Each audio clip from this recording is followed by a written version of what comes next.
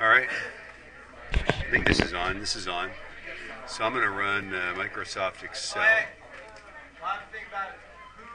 which, yeah, I don't even know where Microsoft Excel is. All right, so what I'm going to do is I'm just going to go. And then here is, uh,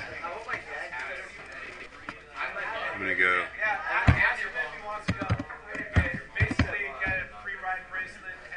Right. And then uh, Stop.